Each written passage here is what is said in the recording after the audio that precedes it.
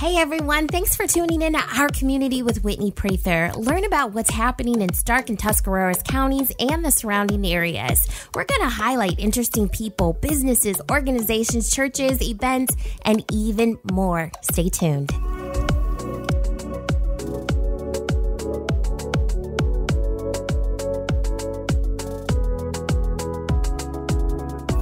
Today, I'm speaking with Matt Bailey, who has over 20 years in digital marketing, working for both brands and agencies, but also as an entrepreneur, starting three companies and selling two.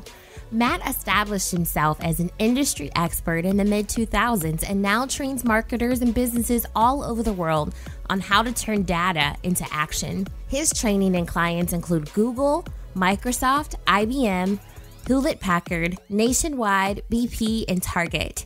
His training courses are found at Duke University, LinkedIn Learning, the Association of National Advertisers, and the American Marketing Association. Matt is also a husband and father to four girls, an avid reader, and a beekeeper. Enjoy this conversation with Matt Bailey. Matt, it is such an honor to have you on the show today. Thank you so much for being here.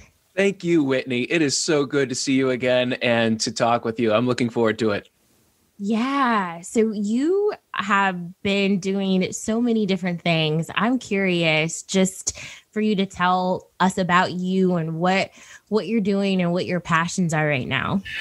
Oh wow. Uh, well, the best thing is to say. So I started building websites in the mid '90s, and that that should tell you everything you need to know right now. Um, so I went from there. I worked for brands. I worked for software companies. I worked for agencies.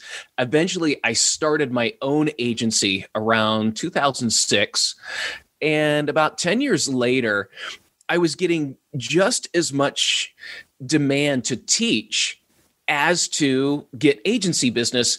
And it got to the point I couldn't do both. So I sold off the agency portion of the business. And since then, I've just been teaching. And I travel, I work with brands, I teach marketers uh, literally all over the world how to do digital marketing, how to not spend more money than they have and how to see and mm. measure results. So that that's kind of the the career in a nutshell.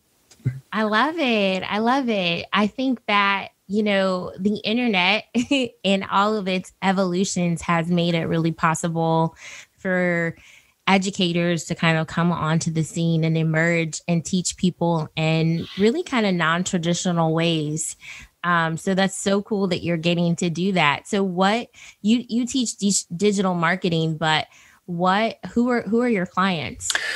Uh, so I work a lot with Microsoft's Worldwide Learning to teach their internal marketing people uh, just different uh, different aspects of marketing and measurement. Uh, I've done a lot with IBM. Uh, just in the past few months, I've worked with Target and Capital One uh, and BP, and so it's it's you never know who's going to pick up the phone and call. Um, yeah. Probably the, the most exciting project I've been working on in the past year is developing a digital media academy in the United Arab Emirates. Uh, and so we've created a nine week course to immerse people in digital marketing. And these are government workers, entrepreneurs. Uh, it's, it's a great mix of people and content creators. And uh, the next project I'm working with them on is something that's really close to my heart, and that's developing a digital literacy curriculum for high school kids uh, within the UAE, as well as will branch into the the larger Arab world as well. Um, but this is something that it, I, you know, here in the U.S., I'm pushing it locally, uh, but also to see this get traction of you know technology is moving so much faster than many mm-hmm. of us mm-hmm. can keep up. And the literacy of knowing what information is real uh, how can i avoid getting taken advantage of or uh, you know becoming a, a victim of a phishing attack uh, all these things are so critical now to using the internet every day Wow. Okay. So you said a mouthful, and I am going to try to remember what to ask. But first, I'm thinking of the correlation between like, um, there's a, a, human trafficking organization that I'm a part of, and a lot of what we're hearing is how a lot of these teenage girls are getting trafficked through mm. the internet, through some of these schemes. So, are you, when you're talking about digital media literacy and how not to get taken advantage of, are you actually teaching that kind of thing as well? Like, hey, here's how to spot someone who's trying to scam you? Yeah. Uh, it starts there with, well, actually, t- let's say, let's back up. It starts with number one, understanding privacy settings on any social media or any account that you have is uh, what do these privacy settings mean? What do they do? But then also your digital footprint. And that's what you say and what you post, that it's out there forever. And so it, it's realizing wh- how I'm putting myself out there online. The next level is how to understand headlines clickbait? Uh, mm-hmm. Who benefits from clickbait? And what's the economy that drives clickbait and fake news and sensationalized headlines? And so it's now insulating yourself against this sensationalized content that wants you to click because people make money when you click. The next level is how to avoid scams if it sounds too good to be true and how are people uh, presenting links that if i click on it then my computer gets taken over? You know so there's different layers but ultimately i would say the overriding thing that we're teaching is critical thinking. Okay. is not to believe everything and how do you compare? Where do you go to find information? And the better you are equipped with critical thinking the better you can think through some of these things rather than just react. And that is you know in the modern internet for the next 20 years uh, the kids that we teach and even adults that's the number one skill that you're going to need to be able to work online to develop skills online to to find information is, is you need that critical thinking element i love it i love it because the truth of the matter is that our children are using this technology quicker at an earlier age than what a lot of us are comfortable with. I mean, digital learning. Hello, my five year old has a brand new Chromebook that her school gave her. and I think it's going to follow her throughout and throughout her elementary or beyond. And, you know, I looked away and she was on Google and she knows what Google is. And I know that there's some pretty powerful settings on there, but the fact that you're saying this right now, I'm totally identifying with the need for this kind of thing because, man, how do you steward this? Mm-hmm. And I also identify with signing up for a new you know social media platform. Clubhouse right now is like the big one that i'm trying to get into. But when you when you sign up for a new platform you do you want to hit agree agree agree so you can get in and and you don't really take your time to go through all of the privacy settings. So no. this is super crucial. Well and and keeping up on it i mean instagram just changed their terms of service and if you have their mobile app installed and you agree to these new terms of service, you're agreeing to let them view all your photos, your contacts, uh, you know, uh, an amazing amount of data. And if you read through that, I, I don't think anyone's going to be really comfortable staying with it. Um, so you know, the, just now that's. Uh, but now, see, here's the Instagram thing: we talk about literally like my platform that I, I know, I know it's powerful and it and it works, but it, Facebook owns it. And let's look at what Facebook has done with data, and and they their bottom line is using your data to sell you stuff. It is a purely economic driven model.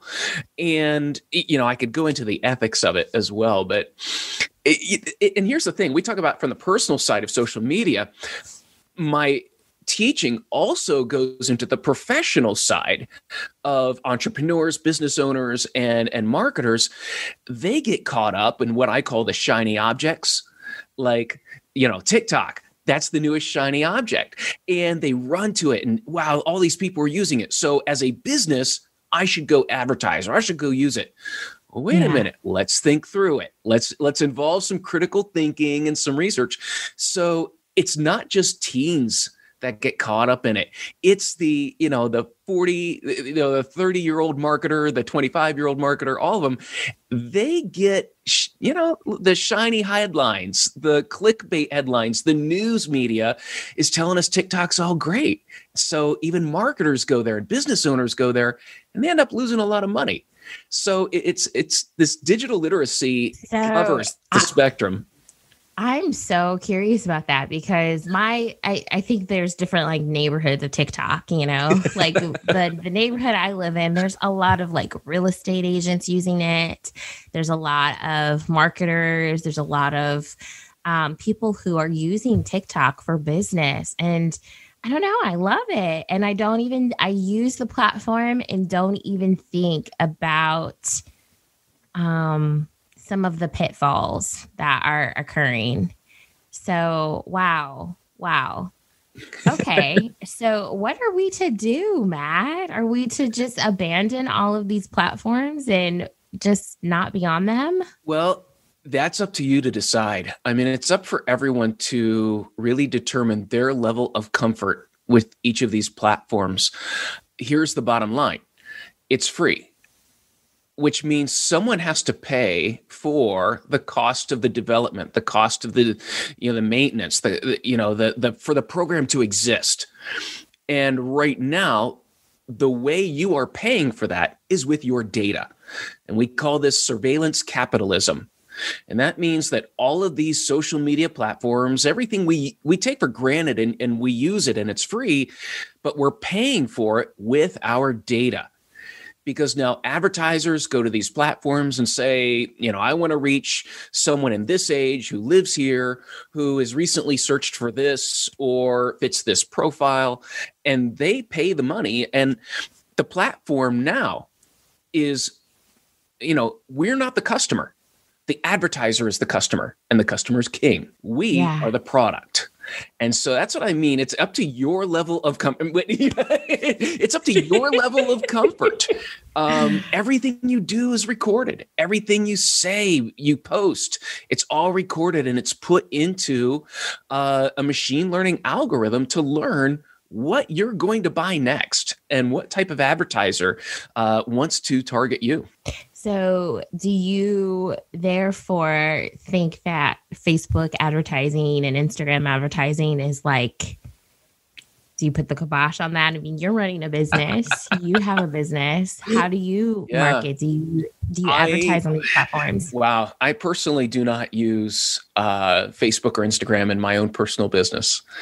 Uh, I I talk with every client or or person that I work with and I let them know you know there's some you know from from my standpoint there's some ethical issues that you know I don't trust what Facebook does with my data. I don't trust with this. Now here's the upside. As an advertiser it can be effective. You can reach yeah. people you can sell product you can use that. Uh, just realize that where that data comes from not everyone knows.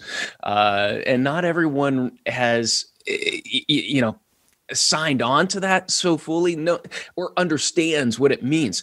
So there is a conflict there and i do explain that to people um, but almost any social platform is going to have that same conflict so yeah oh i can't answer that for everybody. It's up like i said again it's up to your own level of comfort. Uh, now there's some businesses that are saying hey the roi is fantastic. We're all over yeah. it. We're, we're going to do it.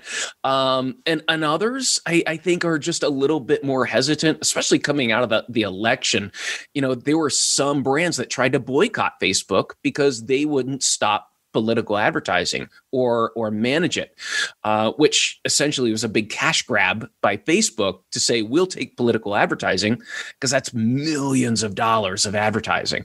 So mm. you know a lot of your big brands stopped advertising. Other brands jumped in and started advertising more. Uh, so Facebook had a record quarter, you know, through the election. Wow. Wow. Okay, so this is kind of like the more you know, you know. um, talk to me about the course that you're that you're um, that you have. Um, it's for. So, do you have more than one course product? Is it for nine to uh, ninth grade to 12th grade? um, but then you also do more. So I want to know what's a part mm-hmm. of your course. What we're developing now is a ninth to 12th grade curriculum, uh, and that will be, you know, throughout the the United Arab Emirates that we're developing. Um, but then also, I I kind of have an adult curriculum that I use in my training, uh, okay. and so that's more like a business oriented of again how to recognize clickbait, how to recognize sensational headlines in the media, and and how to evaluate a new advertising platform like a social platform. So, you know, when a business will will evaluate TikTok's the newest one. We'll evaluate what's being said, what are the claims being made, what are the what are the case studies that are coming out of there and how do we critically evaluate this data? Usually most of the information so like right now tiktok's it's talking about how many users how long they're on and the interesting thing is that's all data that benefits TikTok. It's very rare to find data where which is beneficial to a potential advertiser of this is the ROI of the campaign. This is what I can expect. And the problem is a lot of people measure the wrong things. Like they measure views, but how many clicks did you get out of it? How much sales did you get out of it? Are you, you know, and then compared to your other advertising channels, how did that stack up? So, what's the efficiency of using this against something else?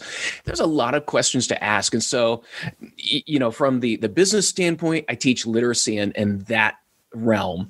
Uh, from the high school, it's focused a lot on you know getting into recognizing clickbait one of the, the more fun projects we do if you've never had fifth graders develop clickbait ads it is the best project ever. Because fifth graders come up with the most creative clickbait and it's hilarious. Um, and so i'll have them do that in, in and they submit it and we laugh at it. But you know what? They can now recognize it because they've created it and they know what it's meant to do. Uh, and so part of it Can is. give us an example of that. Oh my goodness. Um, I'm trying to think what one of them was because it was just fantastic. It was, it was something like Joey fell asleep in class and you won't believe what happened next you know so you. you. know he he got the phrase right in there um there and, so and some of the oh, i was just going to say some of the click the clickbaity uh the clickbait um, ads that I've seen is along those lines of you won't believe what your favorite 90s heartthrob looks like now right, or something right. like that. Yeah. Yeah. So mm-hmm. yeah, I guess when you when you walk it back like that, what are they what is in it for them when you click what is in it for them so just by clicking on something like that mm-hmm. kind of proud browsing through the website real quick and then going back someone's making money off of that right Absolutely. Because as soon as you click on it, you go to a page and that page has ads. And if it's got ads on it, you just by clicking on that made them a lot of money. Um, okay. But I love, so let's break down clickbait because I think everyone needs to know that. Yeah. Now, I have a journalism background. I think you're very similar too, Whitney. You, yeah. You, so, what's the purpose of a headline? To grab attention. Grab attention, but also what you know and this is what i was taught in journalism. It's the inverted pyramid style which means the top of the pyramid is the biggest. It's inverted. And that's my headline. And in my headline i'm trying to communicate as much information as possible about the story. about the story so that you yeah. know what the story's about. Clickbait turns this around and it removes and it creates what's called a curiosity gap that there's some information missing that makes you want to know. And let your example, what's your favorite 90s heartthrob look like now? Oh, you, you, know, it, it's that curiosity. And, and, uh, unfortunately, clickbait appeals to the basest of our curiosity, the basest of our des- it revolves around, you know, I love to joke. It's sex, drugs, and rock and roll. It's that's what clickbait revolves around. It's it, you know, it, it's no secret that they're image heavy they're visual heavy they they use you know some scandalous pictures but it's meant to create curiosity and in that curiosity that's where you click You go to the site, and yes, they're making money from the ads. Uh, and the site seldomly delivers. Like I don't it think never you delivers. really see a good picture of the heartthrob. You know what I mean? It's like uh, yeah. click off. You know, it never delivers. That's the thing about kick clickbait. It, it, never delivers it never satisfies and sometimes you'll get into these sites where you know it'll show pictures but then you have to click again and then you have to click again to go and it's like this 30 click length article or images or something. And what you're doing every time you click is it's reloading ads. They're making more money. And so yeah that that's the downside. I mean it, it's built to take advantage of our curiosity and it yes never delivers. Yeah, you know what? You said something interesting that I don't think I realized was happening. Like, so something that I wouldn't necessarily think would be like more like clickbaity. It, it, it is eh, something that happens, I think, even in our industry of like marketing. So I've seen these websites where you click for the first tip and then you have to click for the next tip. Yes. And you're right. On the sides, there are ads, you know, and you click through. Well, on the fourth click, I'm not I'm not going to step 17 because Nope. I just need the information. right, right. yeah. So it's it's it's in so many different industries, not just one industry. Mm-hmm. No, it's everywhere. Yeah. It's everywhere.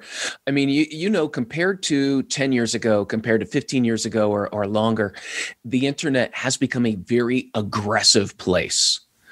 Uh, mm. It's aggressive to get your click. It's aggressive to show you ads. Uh, you, you, know, going to sites that immediately there's a pop up that hey, we want to show send you notifications. No, yeah, you know everyone wants a piece of you uh, yeah. and it's so different than it was 10 15 even you know of course 20 years ago I, I feel like it was so innocent then and now everything is profit driven economic driven uh, to get your click to get your eyes uh, to get your attention. Yeah.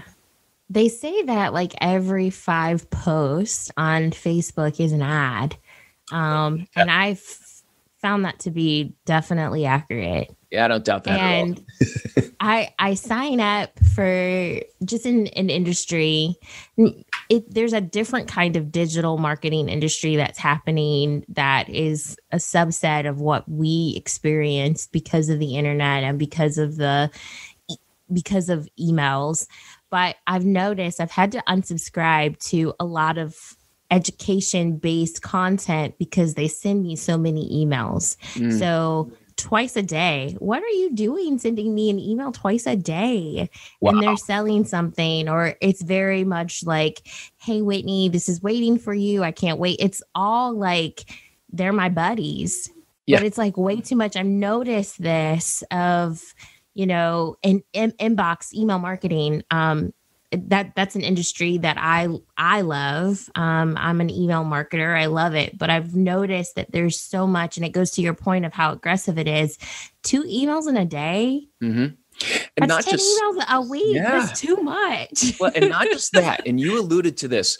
They're becoming much more personalized and you know we haven't heard from you you haven't clicked on us in a while yes. that type of thing and it appeals to again our emotion yeah and so there is a lot of science behind why these things work. Uh, and so that creates a, another gap with us. It's a sympathy or an empathy gap where someone is, oh, they're really trying to get a hold of me. No, those yeah. are pre written. They're pre-written. Yeah. They're sent out on a schedule. It's blasted to everybody, but they're written in a and way. It has your name in it. It's got your name. It's just to you, and they miss you. Uh, so yeah, it's it's there's so much science behind this now of what makes people click. And I think there has to be a line because I I am the person who usually crafts these messages, you know, like I, that's the kind of. I'm an email marketer. Um, but I think there has to be some type of ethics that go along with it as well. Um, you know, I don't think there's anything wrong with communicating to your audience how much you value them and that you love them.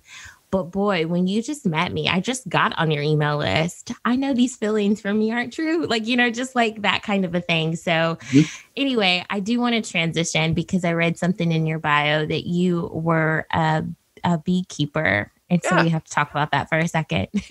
yeah, I well, it started probably wow, I want to say almost ten years ago. Uh, we have a tree in our backyard that just had a hollow in it, and uh, it, they were swarming. So I called a friend of mine who's a beekeeper and he showed up and he says, Well, have you ever thought about keeping bees?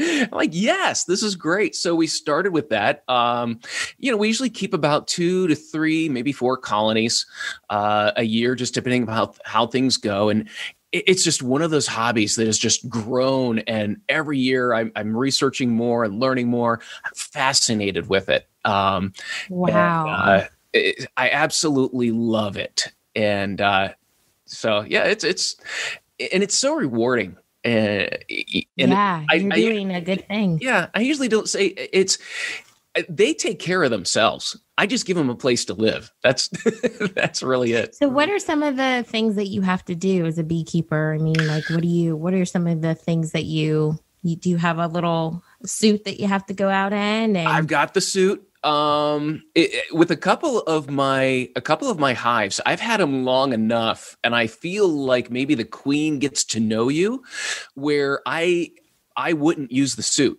After about a year or two of having the same colony, they got used to me and I could get in there and pull it apart and not wear anything and be very, never got stung uh, once getting into the uh, into the the hive. Uh, for newer ones, they're a little more aggressive. They got to kind of get to know who you are.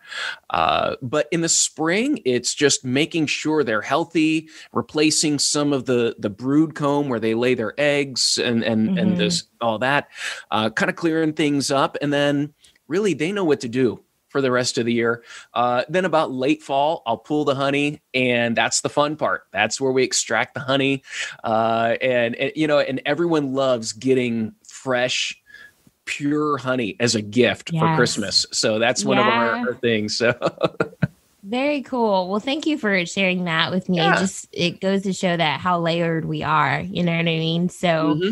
Yeah, I always like to ask people, I always like to end by asking people what they're excited about. It could be related to this um, topic of digital marketing and how you are educating people, or it could be unrelated to that. So, what are you excited about?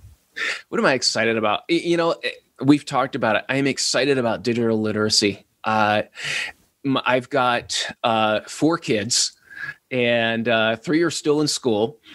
And it's interesting I'll see them studying math and science, and one of them has been doing a lot of digital literacy, and I've been talking with their teachers about that mm-hmm. because math, science, they're great, but you know what they're going to use every day? The internet. And they need to be skilled in how to use the tool in order to use it properly.